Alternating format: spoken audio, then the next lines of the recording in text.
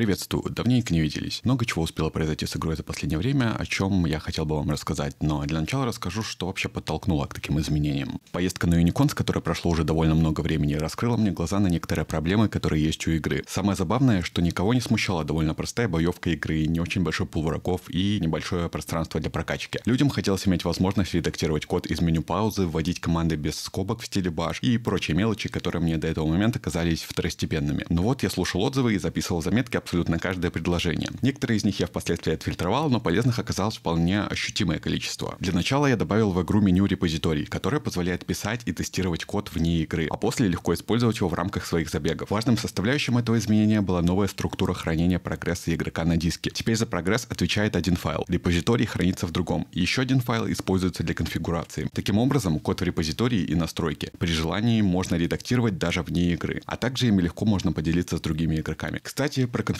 информацию. В игре добавился новый экран для пользовательских настроек. Сейчас в нем доступна только одна опция, но начало положено. Информация отсюда точно так же доступна напрямую из файла, так что можно легко отредактировать файл конфигурации как обычный текст или же сделать бэкап. Теперь к настройке, которая доступна из вышеописанного меню. Возможность отключить скобки оказалась довольно крутой опцией, которая сильно увеличивает темп игры. Честно говоря, не думаю, что после введения этой фичи кто-то продолжит пользоваться обычным режимом. Разве что для того, чтобы пользоваться обучением, которое немного сломалось после этого нововведения. Еще несколько изменений, на которых я не хочу особо задерживаться, ведь они говорят сами за себя. IDE из меню паузы, поддержка дополнительных клавиш, таких как Delete для удаления символа под кареткой, Alt или Option для мака и стрелки для прыжков через слова. И, конечно, Tab и Shift Tab, которые позволяют добавлять и убирать отступы в текущей строке в IDE. Отступы наконец можно сделать красивыми, да. Для сохранения кода, кстати, теперь не обязательно иметь нужное количество SSD. Однако такой код нельзя использовать в игре, так что все логично. Разумеется, куда же без небольших изменений баланса и исправления ошибок. А вишенкой на торте тысяч монет на стартовом балансе из-за очередного вайпа. Теперь снова к обновлениям, в которых есть о чем рассказать, кроме самого их описания. В игре появилась новая встроенная переменная Ping Level. Она не занимает никаких ресурсов и позволяет контролировать потенциальные цели для команды Ping. Поддерживает она три значения 0, 1 и 2, или же соответственно константы Error, Debug и Info, по аналогии с уровнями логов в консоли. Изначально эта переменная имеет значение 0. Так логика команды ничем не отличается от той, что была в прошлых версиях игры. При установке уровня Debug команда Ping будет срабатывать также и на любые снаряды и все, что потенциально может представлять опасность. А уровень Info делает целями еще и сундуки и монетки. Очень крутой шаг на пути к возможности полной автоматизации игроком. Вот бы еще можно было каким-то образом узнавать тип сущности по ее ID. Именно поэтому с обновлением я добавил еще и команду typeof, которая возвращает число уникальное для каждого типа сущности. Полный список таких чисел доступен в документации. Для удобства можно использовать константы. Хотя, пока я не реализовал дополнение в IDE, процесс обещает быть не самым удобным. Но касательно планов я расскажу позже.